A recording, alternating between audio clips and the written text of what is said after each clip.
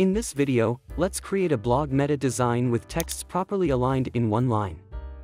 For tutorial purposes, I created a section with an example blog meta author, date, and category as you can see in this section. The text elements are divided into columns. This looks good, but in a blog post, there can be different authors, dates, and the category. If the author's name is different, it may break into a new line.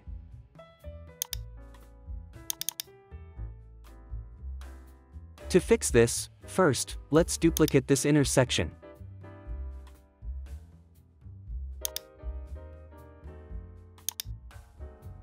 Then, let's move all the text elements into the first column.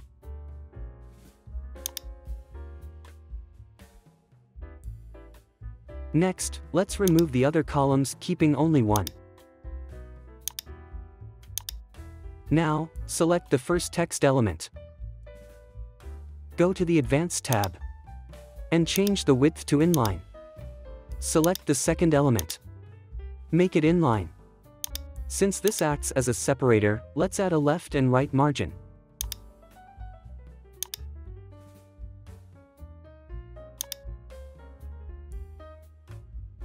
Do the same thing on the rest of the text elements.